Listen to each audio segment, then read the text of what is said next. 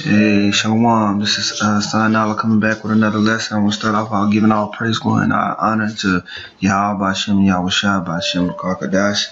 Double honor to the elders of Great Millstone um, and apostles of Great Millstone and rule well. Peace and blessing to you, brothers out there preaching His word in sincerity and truth.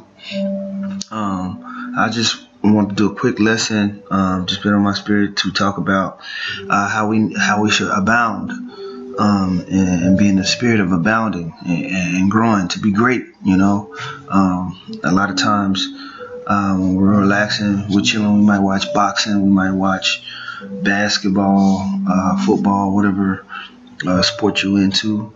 Um, you know, uh, you you have certain athletes that stand out more than others because they they, they aspire to be great. We hear stories of of, of their hard work. Um, outside of whatever their, their, their venture is and how uh, it shows when it's time to perform. And we have to have the same spirit in this truth to, to excel and to, to be great um, because the the 144, the elect, are going to be great men. They're going to be uh, uh, uh, superstars in the kingdom of heaven. Um, uh, but we have to aspire for that because those men who are chosen to be the elect are going to be the rulers of this next world, and their their mindset, their their their instinct is is is to excel higher and higher in this faith and in, truth, man, uh, through the grace and power of Yahweh. So I just want to grab a couple scriptures on that. Uh, Lord edifying to you, brothers. Um, uh, my apologies, Slakia I'm a little under the weather, so um, I'm gonna try to be as clear as possible. I'm kind of losing my voice, but um, uh, the first scripture I'm gonna start with is First Corinthians, the 15th chapter, in the uh, uh, the 58th uh, verse. It says, "Therefore, my beloved brethren, be ye steadfast, unmovable, always abounding in the work of the Lord."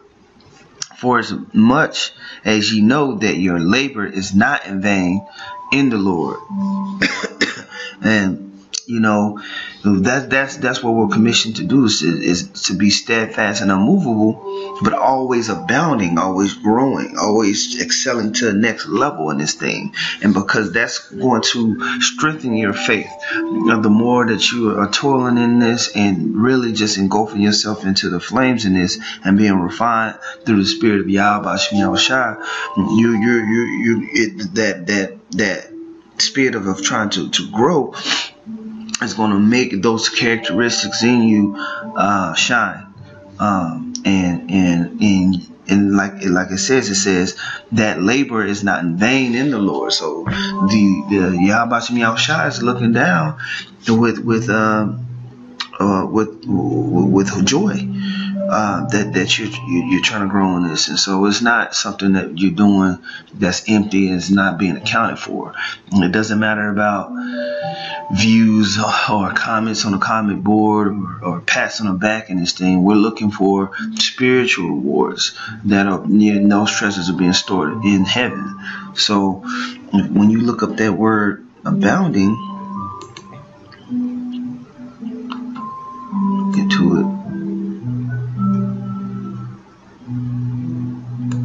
the word abounding there. Going G40 52. Right here. Strong's G 4052.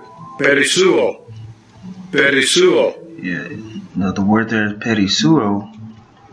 Um, it means to exceed a fixed number of measure, to uh, be left over and above a certain number or measure, to be over uh, to remain, to exist or be at, uh, at hand in abundance, to be great. You know, uh, the saying that we have is is uh, be great. you know, uh, once one amongst our friends is uh, you know you, and what what you mean by that is is take it to to a higher level, man. Don't don't settle for mediocrity and uh, swallow and and, and just uh, uh, complacency, you know. It says a thing which comes in abundance or overflows unto one. Something falls uh, to the lot of one in large measure to redound unto turn out abundantly for a thing, to abound, overflow, to be abundantly flour- uh, flourished with, to have an abundance, abound in a thing. And that thing is this truth, you know, to be uh, in affluence, to be preeminent, to excel, to excel more than, exceed, to make, to abound, to flourish in one richly so that he has abundance to make abundant or excellent. And that's what we're commissioned to do in these things is to uh, to to be great to to to strive for excellence and mastery uh, in this truth so we can be examples to the planet earth of being uh, righteous men you know because that's not flourishing on the earth wickedness is flourishing flourishing on the earth you know and so that's what is the example on the earth now is a complete wickedness, man. So we have to excel in our work and pushing this truth. Okay? I'm going to go to the next scripture. Um, this is Romans, the 15th chapter, um, in the 13th verse. It says, Now the Most High of hope fill you with all joy and peace in believing. Um, and that's another key thing, you know, is finding joy and peace in this thing and, and this truth. Uh, I know the other Ariella went into it on this last sit down about um, having enthusiasm, but also uh, having uh, uh, uh joy in this thing. Because a lot of times the the wickedness of this world and constantly being surrounded by it can beat you down, and that's why you have to really stay in the flame. Because we have peace in knowing that we are on the right side of this, and that Yahbashim Yahawashi is going to redeem His people, and you're an Israelite. So that should have you excited because the closer and closer that we get to the end of this thing, which is the destruction of Babylon the Great, right? martial law and the chip, which is uh, the mark of the beast, you know that you're on the right side of, the, of these things. That's why the seven brothers and the Maccabees found joy in their torment because they knew the true judgment of the Heavenly Father. They were going to be on the right side of it when they came back. Right? It says, Now the Most High of hope fill you with all joy and peace in believing that ye may abound in hope through the power of the Holy Ghost. Okay? Which is this word. Verse 14, it says, And I myself also am persuaded of you, my brethren, that ye are all full of goodness, filled with all knowledge, able also to admonish one another, right? And, we, and, and when we're doing these lessons and shows and we're, we're speaking and counseling with each other, we are admonishing one another. Brother might bring something out that you needed to hear to build your character up, to, to, to help you abound, to help you grow. And it's all in love, you know? It's all in love. It's not in strife or envy or in contention. It's, we, we do these lessons to, to, to grow and build. And that's why uh, our words are so powerful because they're, they're, they're speaking or spoken in, in, in righteousness, faith, and truth.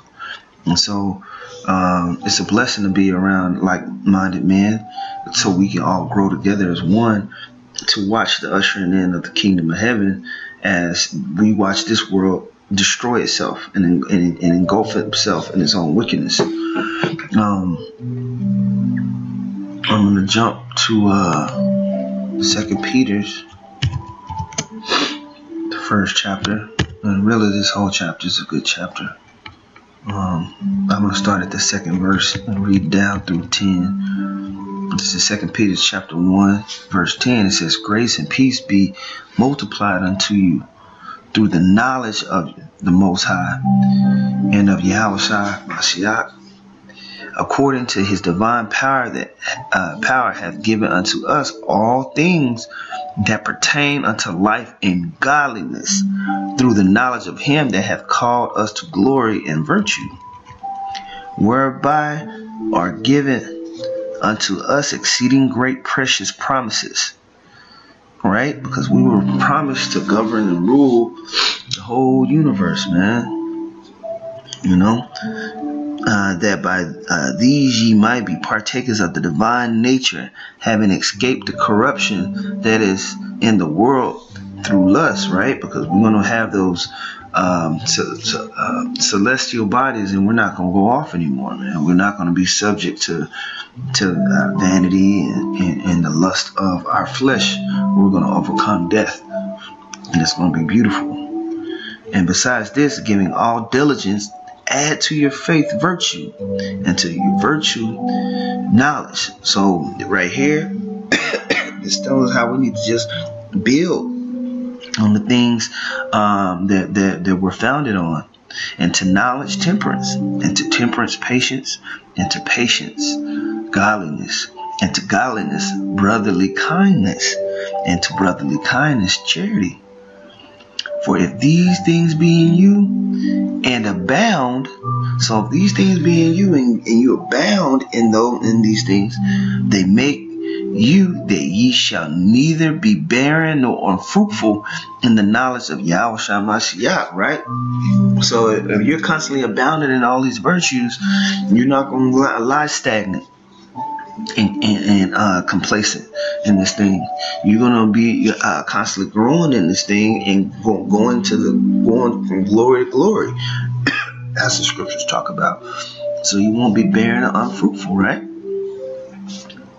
So you know the things that you've been taught, you're you're able to express that at a higher level um, as you uh, go on this walk and journey um, that that that we call life. You know.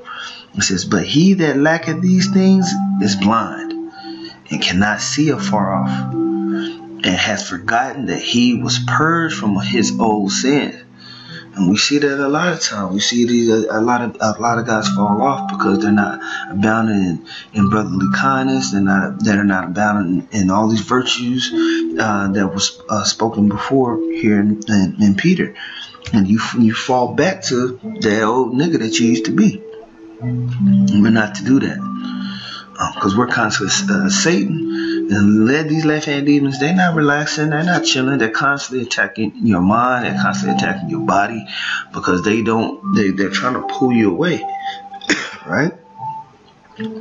Verse 10 Therefore, the rather, brethren, give diligence to make your calling and election sure. For if you do these things, ye sh- uh, shall never fall. Right? So we have to be diligent in our in our walk, and we have to constantly have the mind set of, of, of abounding in our faith. You know, of growing, of being great, being excellent. So when brothers challenge you to do things, take those those challenges to heart, uh, and don't take it as a, a burden. Take it as uh, the spirit of and Yahushua imploring you to grow you know, this is uh, Sirach chapter 10, verse 27. It says, Better is he that laboreth and aboundeth in all things that uh, than he that boasteth himself and wanteth bread. Okay? So it says, Better is he that laboreth and aboundeth in all things instead of talking about it, be about it, you know? You know, and that's concerning everything, whether it's your job, whether it's uh, uh, uh, uh, you you you want to get better at a certain skill or a certain talent, you got to be work at it, or you ain't gonna never get to the next level, man. You're gonna be watching everybody else eat. You're gonna be watching everybody else do their thing, man. And then uh, you're gonna sow seeds of, of, of maliciousness, hate, envy, because you're not growing those those true virtues um, in this thing. This is Philippians chapter one. Um, I'm starting verse six. It says, "Being confident of, of, of, this very thing, that which was would have begun a good work in you will perform until the day of Yahweh Mashiach, even as it was as it is meet for me to think this of you, uh, you all, because I have you in my heart, and as much as both in my bonds in the defense of the confirmation of the gospel, ye are all partakers of my grace. For the Most High is my record, how greatly I long after you all in the bowels of Yahushua. And this I pray, that your love may abound yet more and more in knowledge and in all judgment, that ye may approve things that are excellent, that ye may be sincere without offense unto the day of Mashiach Yahushua, being filled with the fruits of righteousness which are by Yahushua unto the glory and the praise of the Most High. Okay? And so we want to make sure like it says, it said that your love may abound yet more and more in the knowledge and in all judgments, in all judgments. And so we're not uh, just uh, supposed to be uh, only uh, fervent in, in, in, these scriptures on the Friday camp or Saturday camp, whenever you brothers go out. We constantly got to be walking in the spirit because if we're constantly having our minds uh, in the spirit, we're going to be able to, to grow and you're going to be able to discern things and have better judgment in your daily life. And it's going to cause you to have less strife and contention, uh, not with just brothers, but just people in general, um, because you're able to uh, uh, uh, uh, make the correct judgment calls and the decisions when you're doing certain things. Because things are going to happen to where you might not have a, a group of brothers you're around to help you make a decision. You're going to have to know what to do. We're training for war. We're in a war. Um, and so you got to be able to uh, wield your sword. You got to know how to put on your helmet. You got to know how to uh, uh place your breast, breastplate in the right place. You're going to have to know how to gird up your loins. Right? And, and that's what we're doing now. Uh, and you know, through our you know faith and temperance and patience uh, diligence, uh, um, and of course, growing in the knowledge. Growing in knowledge. Um, this is uh, Thessalonians, the fourth chapter, verse 1. It says, Furthermore, then we beseech you, brethren, and exhort you by the Lord Yahweh that as ye have received of us, how ye ought to walk and to please the Most High so ye would abound more and more. For ye know that uh, for what commandments we gave you by Yahushua For this is the will of the Most High, even your sanctification, that ye should abstain from fornication. Right? That every one of you should know how to possess his vessel in sanctification and honor Okay, and so you're going to uh, need to know how how to to grow and abound in these things. And you have great examples from uh, the apostles on down of them diligently doing, doing work, putting out videos, going out speaking, uh, learning the Hebrew, praying, anointing one another, uh, fellowship. You know, fellowship and learning order. And these things help you grow in this thing you know, from the top to the bottom. You, are bounding. You're becoming great. because Esau doesn't want this.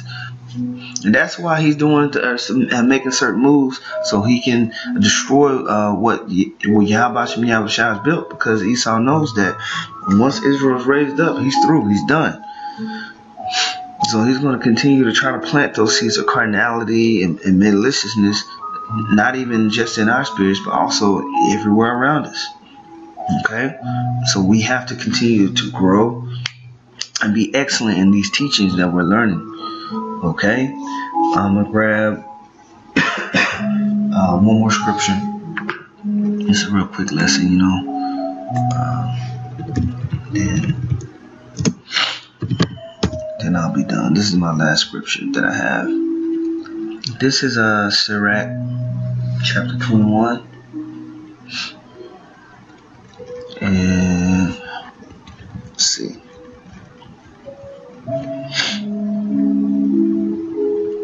I'll start at 11. It says, He that keepeth the law of the Lord getteth the understanding thereof, and the perfection of the fear of the Lord is wisdom. So you you you perfect the the fear of the Lord in wisdom, and it says, "He that is not wise will not be taught." But there is a wisdom which multiplieth bitterness, right? The knowledge of a wise man shall abound like a flood, and his counsel is like a pure fountain of life. Right? The inner part of a fool are like a broken vessel, and he will uh, hold no knowledge as long as he liveth. And so we want to make sure that we're uh, uh, uh, sitting sitting at the foot of, of, of, of wise men and, and, also we're supping uh, with with with Yahweh Yahushua in the spirit and growing in this thing. Right? Because we have all the tools here. We have all the, the, the ability. So we don't have any excuses because Yahweh Yahushua put the spirit on us to find to come into this truth so we have to continue to uh, push ourselves and to grow.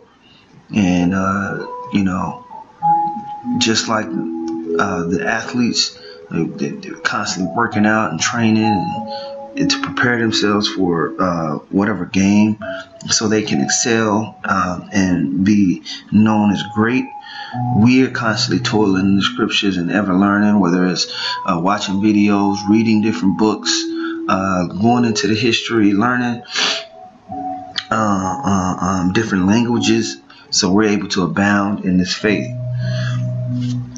And uh, with that, I want to give all uh, praise, glory, and honor to Yah, Bashim, Yahushua, Bashim, Pakadash, double honors to the uh, apostles and that was a great millstone. Peace and blessings to you, brothers out there, preaching this word in sincerity and truth. Shalom.